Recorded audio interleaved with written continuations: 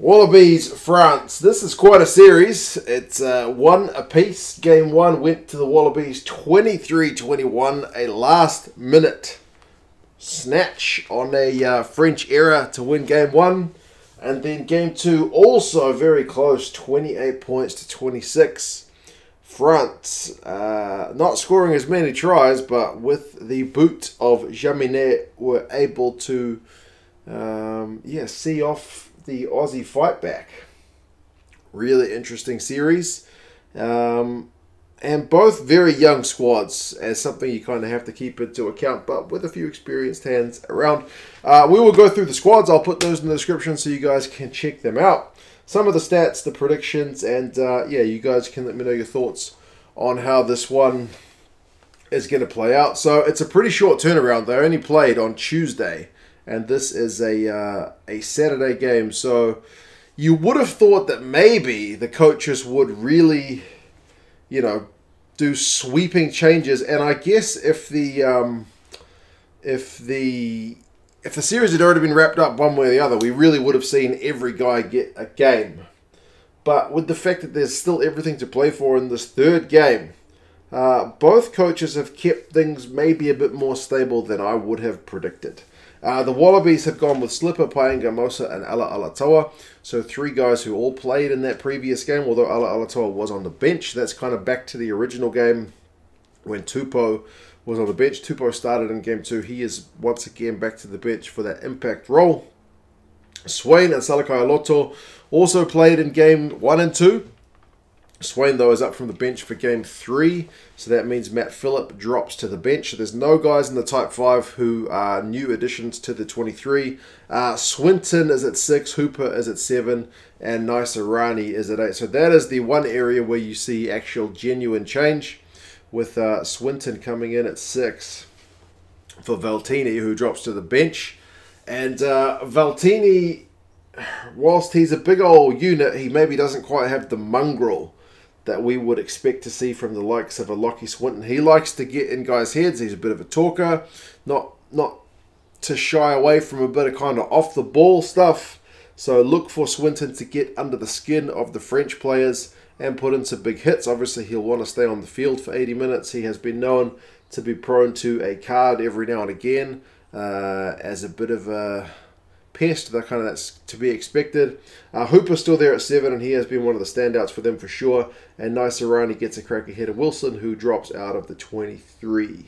Uh, McDermott finally gets his crack at nine. It's been Jake Gordon thus far, and Gordon, whilst he's been okay, he hasn't been anything all that flash. He maybe does have a better, crisper pass than McDermott, but McDermott is uh, is probably better at getting in the heads of the defenders, you would have to say, with his ability to run the ball. Uh, Lolesio is there at 10. There was some talk that James O'Connor might be fit, but then he seems to still be struggling a little bit with his uh, fitness, so it's Lolesio again, so he gets another game, a third start in a row for him. Uh, Paisami and Ikitau is a new midfield. Paisami moves from 13 to 12. Probably his... Is it his better position? At the Reds, it kind of depends on who he's playing with. He plays with Stewart. He plays at 13, but if he plays with um, if he plays with Petaia, uh, then he plays at 12. So I don't know. Paisami at 12. Ikitau's at 13 anyway, and uh, I think it's only his second game after coming off the bench last week. So it's a relatively. You look at that 9, 10, 12, and 13 key part of the squad, but all of those guys very young and few in caps. Uh, Koroibete is on the left wing. Daugunu comes in for Wright on the right wing. And uh, Banks is still there at 15. So Daugunu for Wright is a genuine change. Wright drops out of the 23, but Koroibete continues on. Denied a couple of tries in that last game. It's kind of been the story of his 2021. And uh, as I mentioned, yeah, Banks is there at fullback. They have brought in a couple of fresh set of legs on the bench in Uelese as hooker cover and Reece Hodge, who covers virtually the entire background bar, uh, back, back department. Back line is what I was meaning to say. Uh, apart from nine, literally covers I think every other position. Uh, Tamua also drops to the bench after. I don't know, man. Like he had pretty lackluster a couple of games. Uh, I guess they're they're backing Lolesio to do more in his third game because Tamua, I'm not sure, has been adding enough value to justify his spot in the starting lineup anyway. Um, for France, they have changed more players than what we've seen from the Aussies. So, with the short turnaround, we may see the Aussies kind of come out faster and uh, a bit sharper with those combinations largely intact, but maybe over the course of the 80, fresher legs for the, the French side because, yeah, as I mentioned, a lot more changes. Uh, Forletta comes in for Gros at, uh, at loose head. Falatea comes in for Humpatin uh, at tight head, and Barlot continues on a hooker. So two new props. Uh, one's up from the bench and one's into the 23. So fresher than maybe what we will see. But both those guys, I think, played in the first test anyway as starters. Cazeaux moves from 5 to 4, and Taofifenua comes up from the bench to, to start at lock. Cazeaux, I think, got through a heap of tackles in that other game, like 20 plus. So he may be one guy who looks to get subbed around between 40 and 60 minutes. I can't imagine him going to 80, but you never know. Uh, Cretin is back at 6. Remember, he was uh, substitute with Diallo for the second game, but I think Cretin had a knock after the first game, so he's kind of back as one of the original starters. Woki was probably like man of the match performance in the last game. Very busy at line out time, both offensively and defensively. Got through a lot of work at the breakdown, also got through a few tackles of his own, and had some run meters. So the guy did a bit of everything. He's a proper star. Uh, so he continues on. And Jelonch uh, plays his third game in a row as captain at number eight. I think he's played six, eight, and eight this this uh, series.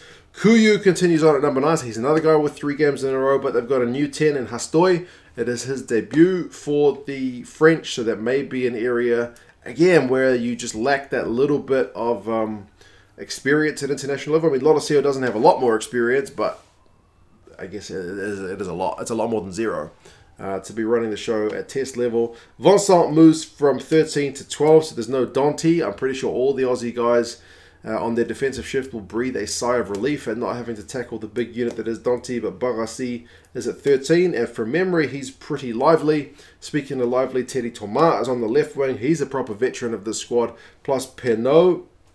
He's playing his third game in a row. Bit of a turnaround for Penaud. Very quiet in the first game, but very busy in the second. Uh, and then Jaminet is there at fullback, and he's inexperienced, but he's on his third game in a row as well. And man, he looked like totally up to test level from what we've seen of him thus far, kicking the goals and uh, just generally running the show at the back. So, um, yeah, it's going to be an interesting one to see. It's interesting that the French have not played several of their guys that they brought on tour, so it's unfortunate to be going on tour and not even get a single minute, but I guess uh, winning comes first, and they did manage to get that win in game two. So they have to kind of go for the uh, the jugular here. Uh, they have gone with three backs uh, on the bench this time rather than two, but they've still got Bamba, who's experienced. Etrillard, I think, has played as the reserve hooker for both of the games thus far. Uh, Iribaren is still there. They have been kicking a lot from nine. Have um, have France, I think. Couilloud kicked like 10 times compared to Gordon's 3 last week, so it's a difference in tactic. Kicks from hand overall 26 15. So France very happy to play without the ball. Very happy to win turnovers. They had 10 last week to the Aussies 2. So they kick the ball to you, and then you give it back to us. Um, and we'll kick penalties all day. But um, interestingly, like Australia had more run meters, more defenders beaten, more possession, but the clean breaks was 9 apiece. So it's kind of like the first game in that it was doing more or the same with less. Seems to be France's tactic. They're quite happy to absorb that pressure and then hit you on the counter or just to keep the scoreboard ticking over with that reliable boot of Jaminet. Turnovers conceded last week, 12 to 5. So uh, the Aussies, along with getting turned over by the French, will have to watch their own errors because you don't need to be giving these guys any chances. From what we've seen, they will take them. But um, yeah, you guys let me know your thoughts on this one. It is game number three. It's 10 p.m. over here in New Zealand, so uh, it's unfortunate that it's not a midweek game. It's it's falling in with all the other games in, in, the in the regular week. It's a shame it's such a short turnaround, but with the pandemic, that's just kind of been the way that it's had to be organised. Um, yeah, I'm looking forward to it. I'm just going to miss having games on like a Tuesday or a, what was it, a Thursday? No, Wednesday. It's been great having midweek games when there's usually not much on. So um, yeah, who are you guys predicting to take out the series? They've been pretty much dead even thus far. Uh, you would probably say the Wallabies maybe have been a little bit disappointing given that they're not playing the first string uh, French side, and most of these Wallabies guys, not all, uh, they've got a few guys out, but most of these Wallabies guys are um, are some of the first team guys. But as I mentioned, both squads very young, and it does speak to the depth that France have at the moment. But anyway, you guys let me know your thoughts, and um, yeah, I'll talk to you guys again soon. See you later.